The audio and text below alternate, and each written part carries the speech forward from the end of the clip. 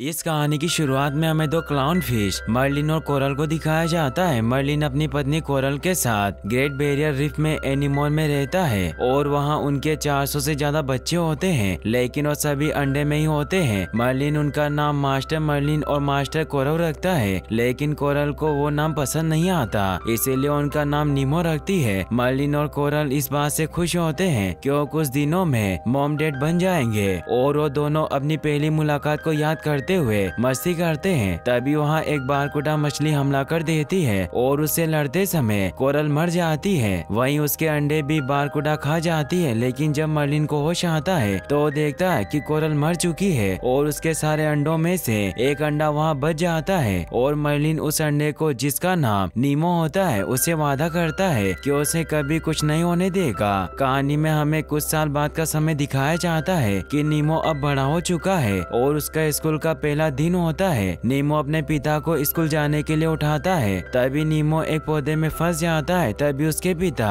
Merlin उसे बाहर निकाल कर पूछते हैं कि उसे चोट तो नहीं आई। नीमो अपने डेट को बताता है कि वो बिल्कुल ठीक है। लेकिन मर्लिन बारकोडा फ़िश के हमले के बाद नीमो के लिए काफ़ी चिंतित रहते हैं। साथ ही नीमो का एक पंख भी छोटा होता है। इसीलिए मर्लिन उसे स्कूल नहीं भेजना चाहते। लेकिन नीमो जिद करता है और स्कूल जाने के लिए काफ़ी उत्साहित दिखाई देता है। मर्लिन नीमो को सुरक्षा के लिए घर से बाहर निकालने का तरीका बताते हैं। ताकि नीमो किसी फ़िश का शिकार न हो, फिर वो स्कूल के लिए निकल जाते हैं, जहाँ नीमो अपने डेड मर्लिन से रास्ते में ढेर सारे सवाल पूछता है। फिर वो स्कूल पहुँच जाते हैं मर्लिन स्कूल के टीचर से बात करते हैं। तो उनसे एक मछली जो कि स्कूल का टीचर होता है, वो कहता है कि तुम एक क्लाउन फ़िश यानी कि एक जोकर हो तो तुम हमें एक जोक सुनाओ। तो मर्लिन कहते हैं कि, देखिए, सबको यही गलतफहमी होती है, क्योंकि क्लाउन फ़िश जोकर नहीं, मछलियों की एक जाति है। लेकिन फिर भी वो मर्लिन को एक जोक सुनाने को कहते हैं। लेकिन मर्लिन जोक भूल जाता है, तभी कुछ मछलियाँ नीमो के पास आती है और नीमो से बातचीत करता है। वहाँ मिस्टर रे भी आ जाते हैं, जो कि स्कूल के एक टीचर होते हैं और वो सभी बच्चों को समुद्र दिखाने ले जाते हैं। मिस्टर रे नीमो से एक सवाल पूछते हैं कि वो किस तरह के घर में रहता है, मगर नीमो उसका जवाब नहीं दे पाता। मर्लिन मिस्टर रे के पास जाते हैं और उन्हें बताते हैं कि नीमो का एक पंख छोटा है, इसीलिए उसे कुछ देर आराम करने दिया जाए। तो मिस्टर रे मर्लिन से कहते हैं कि आप चिंता ना करें, सभी बच्चे साथ रहेंगे। ये कहकर रे चले जाते हैं। फिर हमें दिखाया जाता है कि मिस्टर रे सभी बच्चों को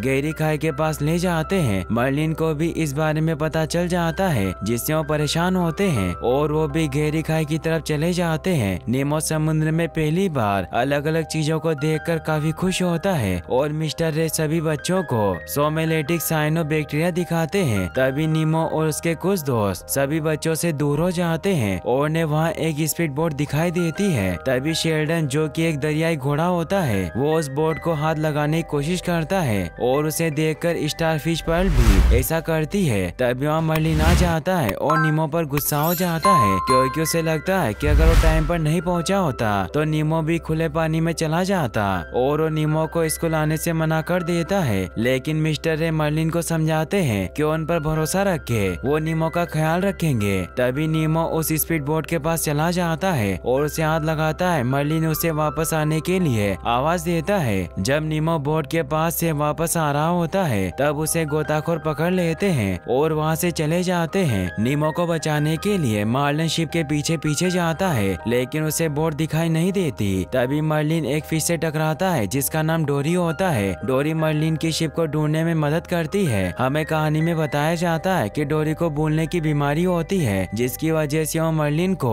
उसका पीछा करने से मना करती है। मर्लिन को कुछ समझ नहीं आता और वो उस पर बहुत गुस्सा होता है। तभी डोरी मर्लिन को बताती है कि उसकी याददाश्त कभी कभी चली जाती है। मर्लिन को लगता है कि डोरी उसका वक्त जाया कर रही है और वहाँ से जाने लगता है। तभी मर्लिन के सामने एक शाक मछली आ जाती है, जिसका नाम ब्रूस होता है। ब्रूस दोनों से पूछता है कि तुम दोनों यहाँ अकेले में क्या कर रहे हो? तो मर्लिन बताता है कि वो दोनों यहाँ कुछ नहीं कर रहे थे। ब्रूस उन दोनों से कहता कि तुम दोनों को मेरे कुछ फ्रेंड से मिलना होगा। तभी डोरी बोलती है कि क्या वहाँ कोई पार्टी हो रही है? ब्रूस कहता है कि हाँ तुम सही समझी। वहाँ पार्टी होगी। और उन दोनों को अपने साथ ले जाता है, जहाँ डोरी कहती है कि क्या ये गुब्बारे हैं? ब्रूस बताता है कि उनसे दूर रहना। वो डूबे हुए बम है। फिर हमें दिखाया जाता है कि ब्रूस अपने दो दोस्त, हेगर और जम को बुलाता है। और उन्हें बताता है कि उसके साथ मेहमान आए हैं। ब्रूस और उसके दोस्त मिलकर एक शपथ दोहराते हैं कि वो मछलियों को नहीं खाएँगे और उनसे दोस्ती करेंगे। ब्रूस जम और हेगर से कहता है कि, तुम्हारे दोस्त कहाँ है? तो हेगर अपने एक दोस्त मेंढक को बताता है, जो कि काफ़ी डरा हुआ होता है और वहाँ से चला जाता है, लेकिन जम अपना कोई दोस्त नहीं लाता और मर्लिन को अपना दोस्त बनाता है। ब्रूस अपना नाम बताता है और कहता है कि उसे मछली खाए हुए तीन हफ़्ते हो गए। वहीं डोरी भी अपने बारे में बताती है। ब्रूस मर्लिन से उसके बारे में पूछता है। तब मर्लिन बताता है कि वो एक क्लाउन फ़िश है। ये सुनकर जम उसे जोक सुनाने को कहता है मर्लिन उन्हें एक जोक सुनाने लगता है, तभी उसकी नज़र एक वाटर ग्लास में पड़ती है, जो कि गोताखोर ने लगाई हुई थी। वाटर ग्लास के ऊपर कुछ लिखा होता है, डोरी उसे शाह के पास पढ़वाने लेकर जाती है। मर्लिन और डोरी आपस में ग्लास को खींचते हैं, जिससे कि डोरी के नाक पर लग जाती है, और खून निकल जाता है, तभी ब्रूस को खून की खुशबू आती है। वो डोरी और मर्लिन को खाने की कोशिश करता है, लेकिन उसे ऐसा करने से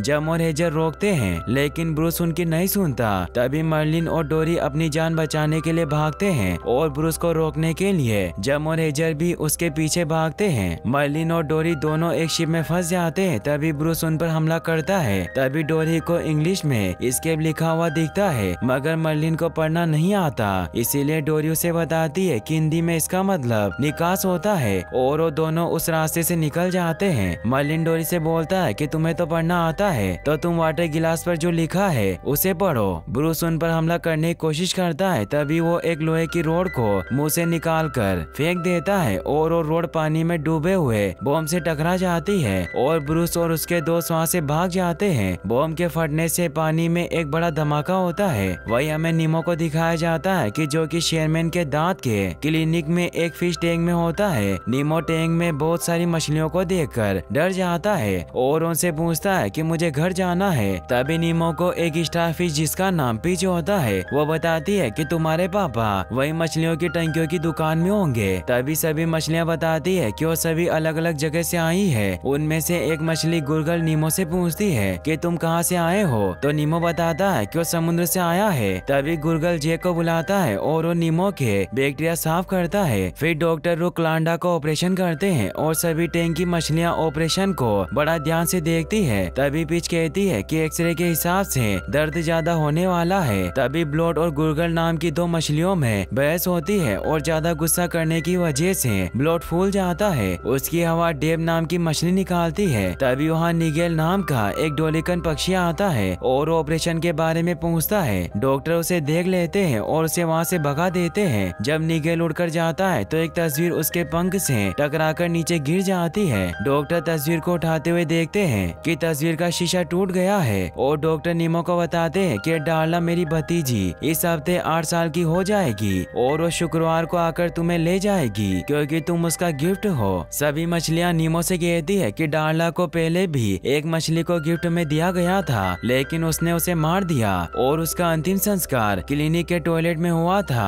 ये सब देखकर नीमो डर जाता है। वो कहता है कि मुझे नहीं जाना। उस लड़की के साथ मुझे मेरे घर जाना है, लेकिन नीमो फ़िश टैंक के फ़िल्टर पाइप में फंस जाता है। इसीलिए सारी मछलियाँ निमो को बचाने भागती है। लेकिन उन्हें गिल नाम की एक मछली ऐसा करने से मना कर देती है। नीमो गिल से पूछता है कि क्या आप मेरी मदद करोगे? तो गिल मना कर देता है और खुद को वहाँ से निकलने को कहता है। तभी नीमो कहता है कि मेरा एक पर खराब है। तो गिल कहता है कि हमें तो कोई फ़र्क नहीं पड़ा, क्योंकि गिल का भी एक पर नहीं होता। और नीमो खुद से कोशिश कर बाहर निकल जाता है। वहीं डोरी और मर्लिन वाटर ग्लास में होते हैं, जो कि एक डूबी हुई नाव में अटका होता है और वो दोनों होश में आ जाते हैं। तभी वो नाव अचानक से खिसक जाती है और दूसरी चट्टान से टकरा कर रुक जाती है। लेकिन वाटर ग्लास अंधेरी खाई में गिर जाता है। डोरी मर्लिन का हाथ पकड़कर खाई के अंदर ले जाती है, जहाँ उन्हें कुछ दिखाई नहीं देता। वहीं थोड़ी अंदर जाने के बाद उन्हें कुछ रोशनी दिखाई देती है और वो दोनों रोशनी के पास पहुँच जाते हैं। मगर वो रोशनी एंगलर फ़िश की होती है, जो उन पर हमला कर देती है। मर्लिन और डोरी भागने लगते हैं। भागते समय मर्लिन को वाटर ग्लास दिखाई देता है। डोरी ग्लास पर लिखे अक्षर को पढ़ने की कोशिश करती है, लेकिन एंगलर फ़िश हमला कर देती है और उसे बचाने की कोशिश में एंगलर फ़िश वाटर ग्लास में फंस जाती है। नीमो के पिता डोरी से पूछते हैं कि गिलास पर क्या लिखा था तो डोरी कहती है कि गिलास पर P Sherman forty two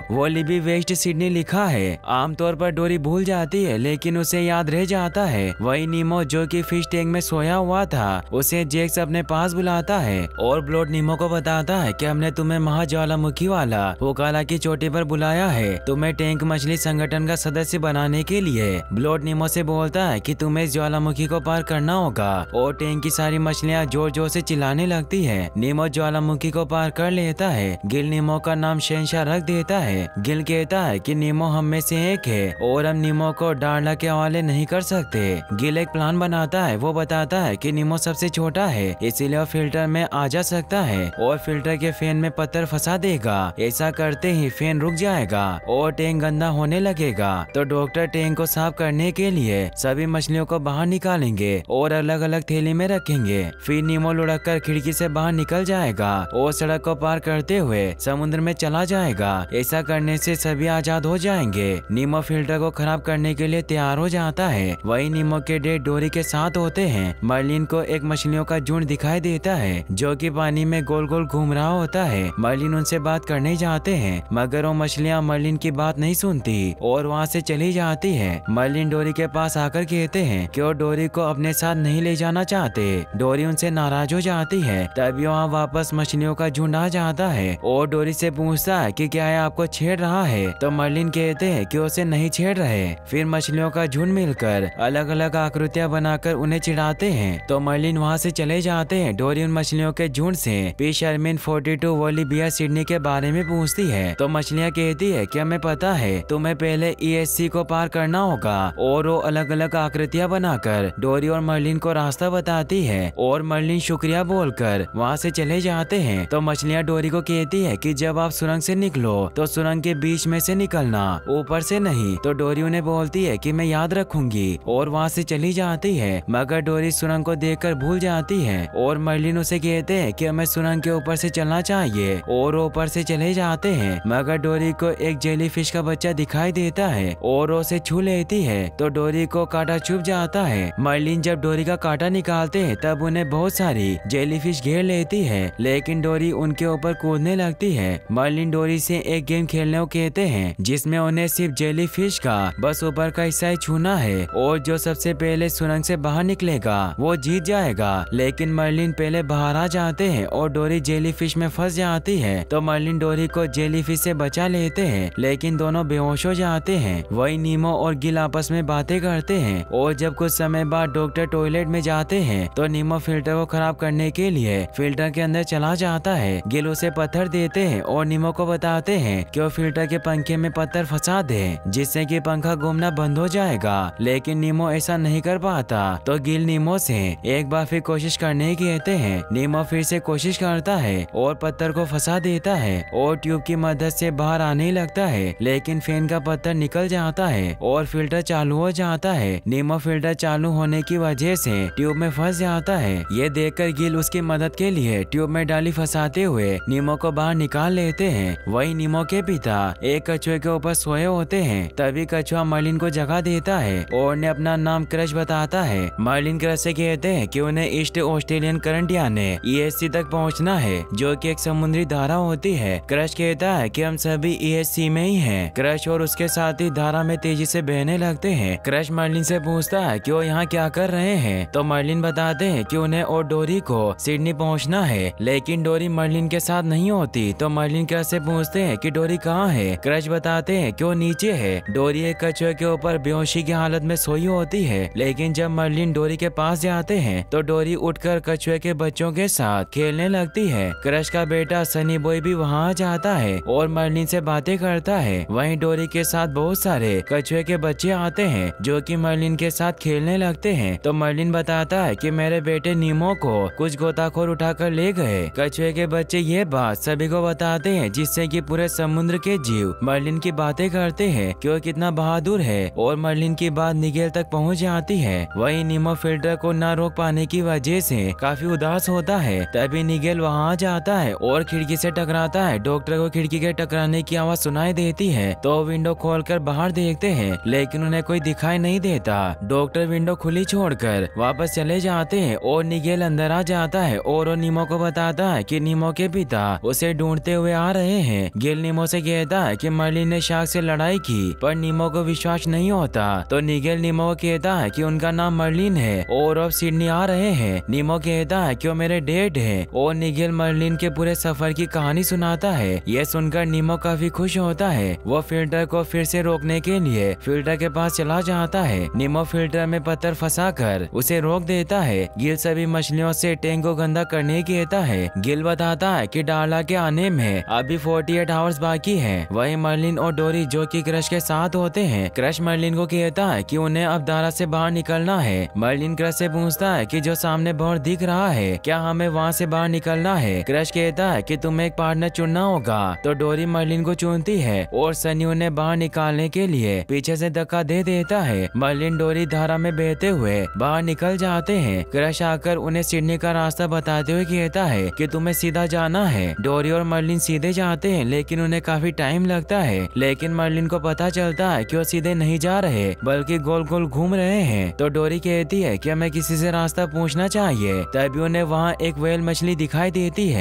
और डोरी उससे कहती है कि मर्लिन के बेटे नीमो को कुछ गोताखोर उठाकर ले गए और उसे बचाने के लिए हमें सिडनी जाना है। क्या आप हमें रास्ता बता सकती है? लेकिन वेल कोई जवाब नहीं देती तो डोरी वेल की आवाज़ निकालती है, मगर फ़िश वहाँ से चली जाती है और पीछे से आके उन दोनों को अपने मुँह में बंद कर लेती है। वही नीमो और बाकी मछलियाँ डॉक्टर के आने का इंतज़ार करती है। डॉक्टर वहाँ पर आ जाते हैं। डॉक्टर फ़िश टैंक को देखते हैं कि वो काफ़ी गंदा हो गया है, इसीलिए डॉक्टर अपने असिस्टेंट से कल का पहला अपॉइंटमेंट कैंसिल करने को कहते हैं। वो डारला के आने से पहले टैंक को साफ़ करना चाहते हैं। यह सुनकर निमो खुश होता है। वही मर्लिन और डोरी वेल के मुँह में होते हैं। मर्लिन वेल के मुँह से निकलने की कोशिश करते हैं, लेकिन ऐसा नहीं कर पाते और थक कर नीचे बैठ जाते हैं। डोरी जिसकी याददाश्त थोड़े समय के लिए चली जाती है, इसीलिए डोरी वेल के मुँह में मस्ती करती है। लेकिन अचानक वेल हिलने लगती है, तभी मर्लिन पूछते है की क्या हो रहा है। डोरी वेल से उसकी भाषा में पूछती है तो वेल अचानक से आवाज़ करती है और वेल के मुँह का पानी उसके गले की तरफ़ जाता है। तो मर्लिन चिल्लाते हैं कि डोरी ने क्या किया? लेकिन वेल एक बार फिर से आवाज़ करती है। तो डोरी कहती है कि वेल उन्हें कहना चाहती है कि वो दोनों उनके गले की तरफ़ चले जाए। मर्लिन कहता है कि वेल उन्हें खाना चाहती है और दोनों झगड़ा करने लगते हैं। वेल तभी अपनी जीप ऊपर उठा लेती है और पानी के साथ साथ मर्लिन और डोरी भी अंदर जाने लगते हैं। लेकिन वो वेल की जीप को पकड़ लेते हैं। डोरी कहती है कि मैं वेल से पूछती हूँ कि ये सब क्या हो रहा है। मगर मर्लिन को लगता है कि डोरी वेल की आवाज़ नहीं निकाल सकती। लेकिन तभी वेल एक बार फिर से चिल्लाती है। डोरी कहती है कि वेल का कहना है कि सारे बंधन छोड़ दे, सब ठीक हो जाएगा। मर्लिन डोरी की बात मान लेते हैं और वेल की जीप को छोड़ देते हैं, जिससे वो वेल के गलफड़े से होते हुए बाहर हवा में उछलकर पानी में गिर जाते हैं। मर्लिन देखते हैं कि वो ज़िंदा है। वही डोरी को बहुत सारी शिप दिखाई देती है, जिन पर सिडनी लिखा होता है। मर्लिन वेल को थैंक्स बोलते हैं और शिप को ढूँढने लगते हैं। फिर हमें दिखाया जाता है कि सुबह हो गई और फ़िश टैंक पूरी तरह से साफ़ हो गया। गिल सभी मछलियों से कहता है कि रात में डॉक्टर ने नया फ़िल्टर लगाया है। तो इस फ़िश फ़िल्टर का मैनुअल पढ़कर कहती है कि सेल्फ गारंटी फ़िल्टर है, जिसकी गारंटी टैंक की मछलियों के मरने के बाद भी चलती रहेगी। और ये फ़िल्टर टैंक की हवा और तापमान को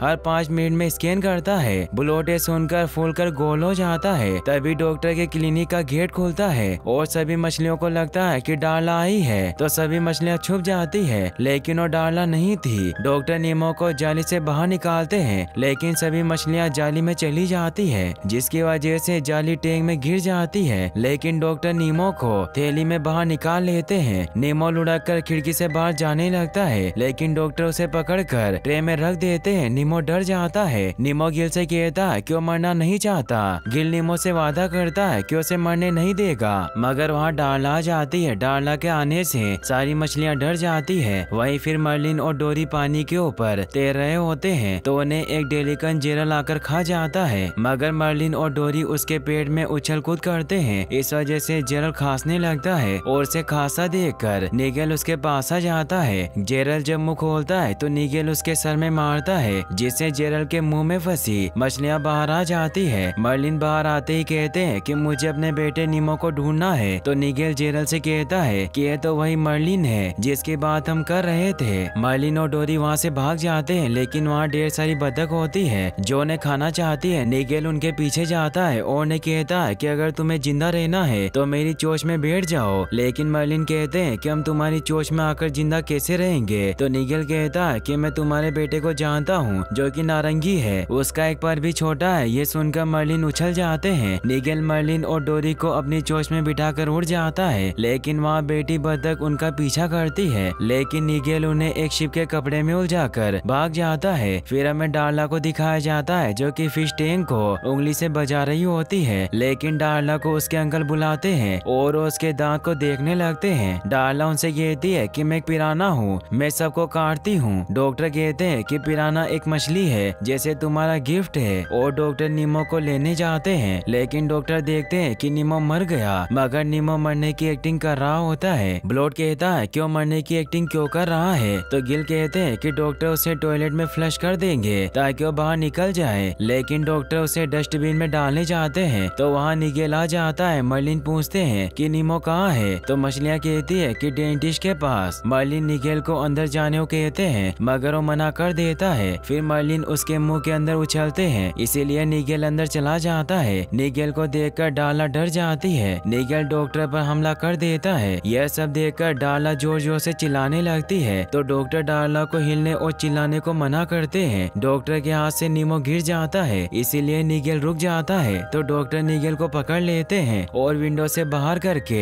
विंडो बंद कर देते हैं। डाला नीमो को हाथ में उठाकर ज़ोर ज़ोर से हिलाती है। गिल सभी मछलियों को हाका नुमा की चोटी पर बुलाता है और वो चोटी के मुँह पर जाकर बैठ जाता है। ब्लोट और बाकी मछलियाँ चोटी को धक्का देकर टेढ़ा कर देते हैं और जेक्स बुलबुले छोड़ देता है। ऐसा करने से गिल टैंक से बाहर निकल जाते हैं और डाला के सर पर कूदते हैं, जिससे कि वो नीमो को हाथ में से छोड़ देती है। वही नीमो एक ट्रे में गिर जाता है और नीमो जिस थैली में के था, वो फूट जाती है। गिल भी नीमो के पास ट्रे में आकर गिरता है और नीमो से कहता है कि शहनशाह घर जाकर अपने अबू से मेरा सलाम कहना। ऐसा कहकर गिल नीमो को धक्का देता है और वो टॉयलेट में गिर जाता है और फ्लश में बह जाता है, लेकिन डॉक्टर को समझ नहीं आता और गिल को पानी के टैंक में डाल देते हैं। नीमो फ्लश में बहता हुआ, बड़े से पाइप में चला जाता है। नेगेल डोरी और मर्लिन को समुद्र में छोड़ देता है और वहाँ से चला जाता है। मर्लिन, डोरी को छोड़कर जाने लगता है, मगर डोरी उसे छोड़कर जाने से रोकने लगती है, लेकिन मर्लिन नहीं रुकते। वही नीमो एक पाइप से बाहर होता हुआ, अपने डेट को ढूंढता है, लेकिन उसे अपने डेट दिखाई नहीं देते। लेकिन तभी नीमो की मुलाकात। डोरी से होती है, जो नीमो को कहती है कि डोरी ने किसी को खो दिया है। तो नीमो कहता है कि मैं भी किसी को ढूंढ रहा हूँ तो क्यों ना हम दोनों साथ मिलकर ढूंढे? डोरी नीमो से उसका नाम पूछती है तो कहता है कि मेरा नाम नीमो है। नीमो डोरी से पूछता है कि हम कहाँ हैं? तो एक पाइप पर सिडनी लिखा होता है, जिसे पढ़कर डोरी को सब याद आ जाता है। डोरी नीमो कहती है कि मैं तुम्हें जानती हूँ, और मर्लिन को भी जानती है। नीमो और डोरी दोनों मर्लिन को ढूँढने लगते हैं, लेकिन उन्हें वो नहीं मिलते।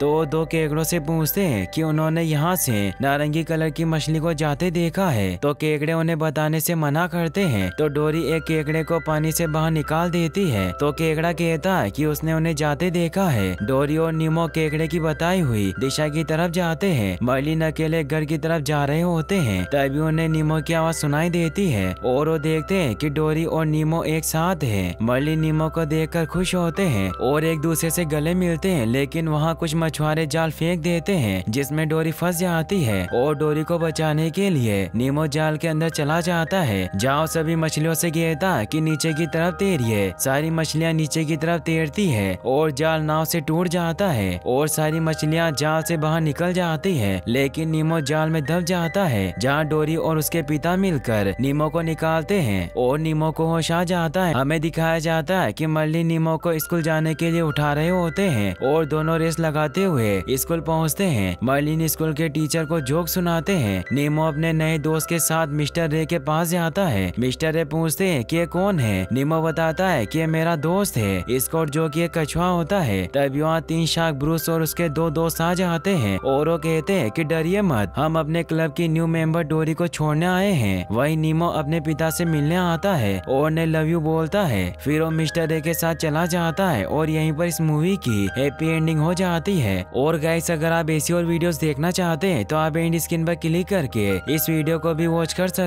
हैं। साथ इस वीडियो को लाइक और चैनल को सब्सक्राइब करने के लिए आपका तहे दिल से शुक्रिया। और गाइस आप कौन सी मूवी देखना चाहते हैं? मुझे कमेंट बॉक्स में ज़रूर बताएँ। Thanks for watching